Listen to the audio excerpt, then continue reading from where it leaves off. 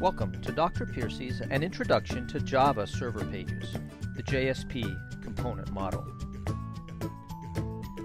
In this video, we will review the components of a MVC-based web application. You'll understand how Java Server Pages fit into this MVC structure, and you'll learn some important terms that are related to JSPs.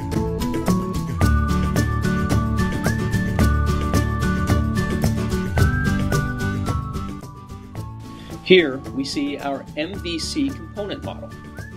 There are two sides to every MVC application. There's a client side and there's a server side. On the client side, this is where you might use your web browser or mobile phone app to view a page that you ask for from the internet. When you ask for something, it's called a request. What you get back is known as a response. We can divide whatever's created or what we see into three basic separations of concern. Structure, and this is the data structure of the page, handled by HTML. Style, how the page is laid out, the colors that are used, and how it looks.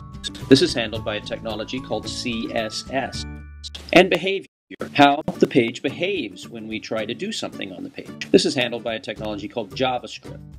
In this set of videos, we are going to concentrate on the server side. These are the things on the back end. When we make a request for something, these are the things that work to fulfill our request and send us a response. All requests come into the web server. The web server will then determine what needs to happen. It will ask for certain things to occur based on our request. The goal of the web server is to ask for those assets that need to run and those assets will then create a response, which it will be up to the web server to send back to the right place.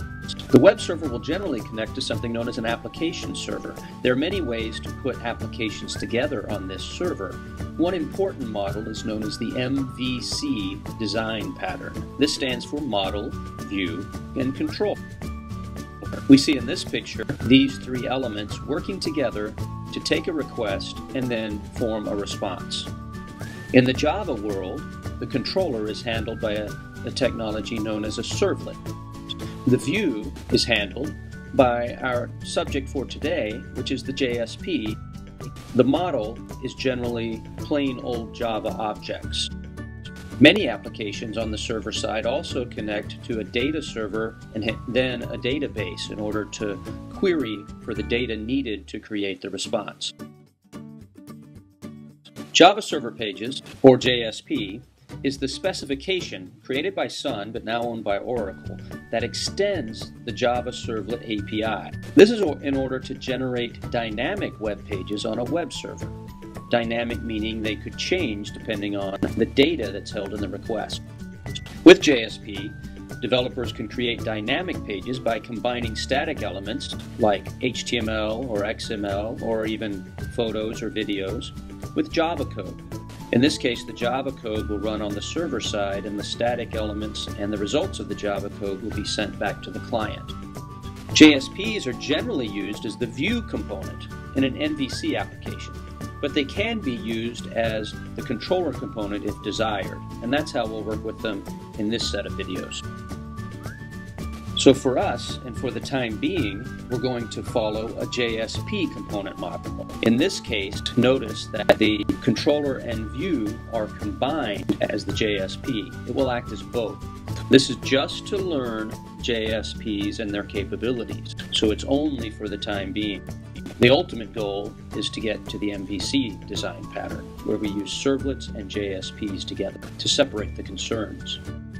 A couple of important concepts we'll want to know about before we get into building our JSP, and these have to do with what the web server creates for us when a request comes in.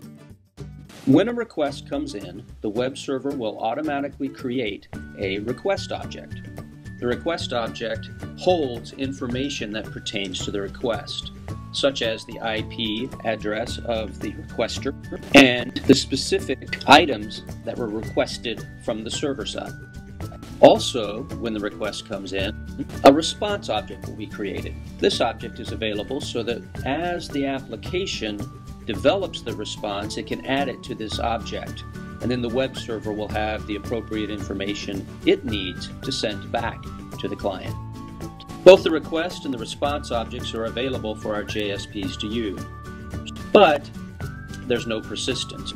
This means that once the response is sent, the request and response disappear. A new set of request and response objects are created with each new request. Both the response and request objects are available for us to use within JSP code. We do this as we use any other object using dot notation where we mention the name of the object followed by a method call. For example, we might use the getParameter method of the request object to request a value that was sent from the client for the variable text name. One other thing to note about the request and response objects, these are declared and instantiated by the web server. So when it's time to run our JSP code, they're already created, and we do not have to declare nor instantiate these two objects. We simply can use them in the JSP.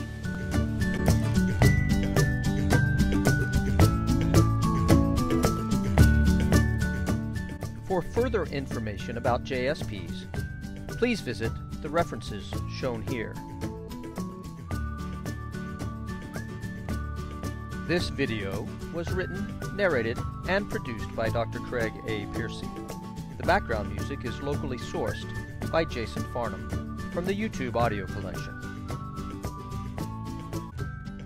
This has been a Piercy production.